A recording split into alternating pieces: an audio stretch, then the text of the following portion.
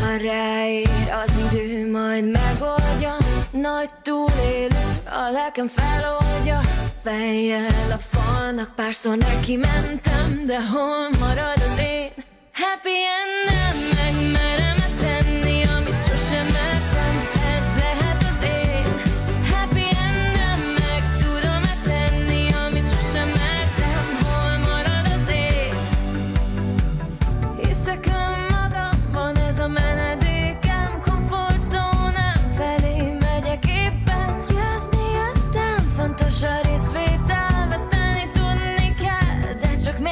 Mértékkel Nekem egyszer fenn, míg neked százszor lenne. Ebben az életben semmi sem véletlen De néha még én is megijedtem Hogy nem jön el az én kis happy endem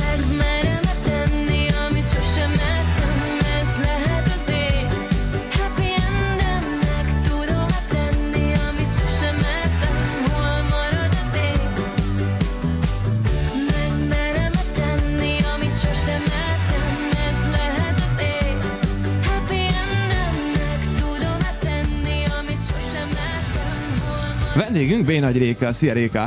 Sziasztok! Az a címe az új dalodnak, hogy Happy Endem, így magyarosan írva, hogy Happy Endem. Egyébként ez egy ilyen nagyon életigenlő címnek tűnik, és sok mindent így le lehet szűrni róla. Miről szól neked ez a dal? Hogyan íródott?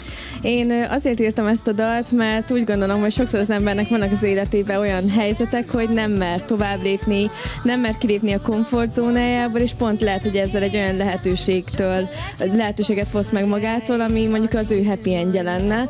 Úgyhogy nekem is ez egy abszolút egy motiváció, és bízom benne, hogy az embereknek is ez egy motiváció tud lenni.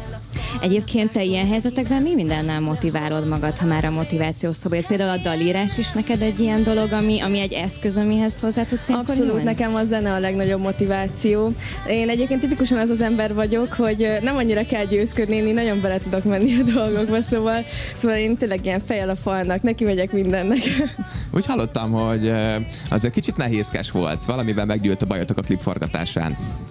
Meggyűlt a bajom Valami- a A klipforgatás. bringó hintóval volt Bring- ez ilyen bringó kis hintó. eh, anomáliák? Ezt nem ez a bringó hintó egyébként. Ja, igen, ugye ez a Bringó hintó a Margit szigeten van, és konkrétan ugye egy ilyen hatos hintóba ültünk bele, amit ketten hajtottunk, Ja, ja, ja. és az annyira nehéz volt, szóval, hogy pont azt beszéltük, hogy ezek a nyálas jelenetek, amik, a, amik az ilyen filmekben szoktak lenni, azok tényleg csak ott jók, mert így élőben ez egy katasztrófa volt, és szörnyű volt. Ha már így említed ezeket a jeleneteket, a jeleneteket, akkor tényleg ez a szerelmes dalhoz egy igaz ilyen habos-babos videóklip készült, amiben a férjed is feltűnik. Mesélj egy kicsit, hogy mi volt így az előzetes víziód? Az például egyből megvolt, hogy szeretnéd, hogy ő szerepeljen benne? Egyébként a dal így szerintem számomra nem szerelmes dal, de a klip miatt mondjuk azzá vált. Ugye a happy endem szó, az, vagy happy end az mindig ugye filmekben szokott lenni, és ezért volt egyértelmű számomra, hogy ilyen klisés filmes jeleneteket tennénk bele, és hát mik a legklisésebbek az ilyen romkomok, és azokból szeretünk volna ilyen tipikus, nagyon-nagyon nyálas szerelmes jeleneteket megvalósítani, és hát egyértelmű volt számomra, hogy a férjem szerepeljen benne, mert máshol nem is nagyon tudnám eljátszani ezeket a jeleneteket. De egyébként azon felül, hogy ilyen jelenetek voltak benne, én azt éreztem, hogy, hogy ez teljesen így egy igazi őszinte szerelem. Tehát, hogy van a, van a gicses rész, meg van az őszinte szerelem, és nem tudom, én ezt fullba ezt éreztem, hogy nálatok az, az Akkor őszinte nem szerelem. kicses volt? Ne, nekem nem tűnt annyira gicsesnek ez. Ö, nem tudom, hogy te hogy vagy vele, hogy, hogy például Dáviddal rögtön ilyen el, első szerelem első látásra volt? Igen, abszolút nekünk egy ilyen castingon találkoztunk, és rögtön egymásba szerettünk, tehát hogy nálunk tényleg ez igaz, hogy szerelem első látásra, és hát ugye most volt az első házassági évfordulónk. Gratulálunk. Úgyhogy köszönjük szépen, úgyhogy igazából nem nagyon kellett mit eljátszani. A klipet egyébként Radis Tomi rendezte, aki ugye Giginek a testvére. Milyen volt vele a közös munka, és mennyire adtál neki szabad kezet, vagy mennyire volt ez egy közös munka folyamat? Én nagyon szeretek Tomival együtt dolgozni, mert írtó gyorsan dolgozik egyébként, és nagyon kreatív ember. Már egyébként más klipet is forgattunk együtt, és hát elmondtam neki nagyjából, hogy mit gondolok, és ő meg így rögtön rápörgött az egészre, hogy úristen, igen, csináljuk, és azonnal összírt a forgatókönyvet, és tulajdonképpen kb. egy hét alatt meg is volt minden, úgyhogy Tomi zseniális szerintem. És kinek volt az ötlete? Mustafa, ugye? Meg a. Mustafát, a lovat, a te lovat, hogyha jól tudom. Igen, igen. És, és vele van egy sztorid is a lovak kapcsán, hogy, hogy egyszer leestél egy lóról. Igen, és... igen, nekem volt egy nagyon nagy esésem, ugye egy évvel ezelőtt, és hát nem igazán bírtam utána járni pár napig, és nekem tehát ugye a dal is egy kicsit így, amiért is íródott, mert akkor is kellett volna nekem ez a motiváció, amit ez a dal adhat. Úgyhogy örülök, hogy végre újra nyerekben ülök, és mivel ugye a filmekben is szokott lenni ez a naplementében elvágtázol, stb.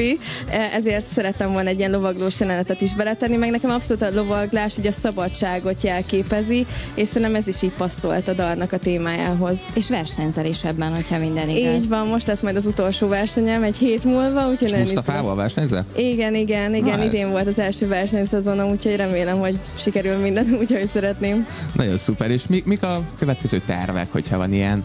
Hát Mi- én minden nap beszélni? írok kb. valami dalocskát, vagy így belekezdek, úgyhogy folyamatosan dolgozunk dalokon, és remélem, hogy a közeljövőben lesz valakivel egy ilyen közreműködés is, de erről még többet nem tudok elmondani, úgyhogy íródnak a dalok, forognak majd a klippek, úgyhogy egyelőre most ez ugye ez egy kicsit ilyen visszavonulós időszak, ugye vége a nyári koncertezésnek, úgyhogy most az alkotás következik.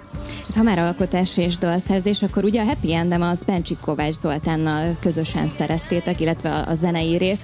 Vele milyen volt a közös munka? Hogy jött a kapcsolódás? Kapcsolódás? Őt ugye a Honey Beast-ből is Igen, én ismerhetjük. Zolit én nagyon szeretem, egy annyira csodálatos ember. Tehát az első közös szerzés az a Nézd rám című dalom volt, és egyértelmű volt számomra, hogy vele szeretnék a továbbiakban is dolgozni, mert konkrétan tényleg azért hatalmas köztünk a korkülönbség, de mégis annyira jól megértjük egymást, és így pikpak, szóval átmentem hozzá, leültünk, és négy óra alatt megszületett a dal, konkrétan négy óra alatt, és az volt utána, hogy, hogy hát ugye ilyenkor nem hallom rögtön vissza, amit felvettünk, és így írtam neki két nap múlva, hogy Zoli, kérlek küldett, mert most már folyamatosan ez megy a fejembe, úgyhogy remélem, nekem nagyon fülbe mászó dal szerintem, hogy remélem, hogy a közönségnek is az lesz. is énekeltük.